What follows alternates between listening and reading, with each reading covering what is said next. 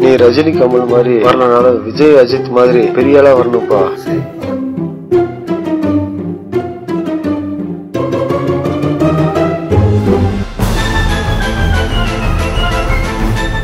கொஞ்சம் வாங்க. நீ இப்படியெல்லாம் பண்ணுவேன்னு தெரியும்டா.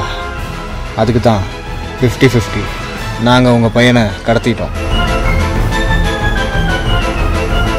உனக்கு உன் புள்ள வேணும்னா வந்து ஒரு லட்ச ரூபாய் தான் என்ன சொல்கிறாங்க தக்காளி வாங்கிட்டு வர சொல்றான் பாஸ் டேய் பிகில் பாண்டி உனக்கு இத்தாண்டா சான்ஸ்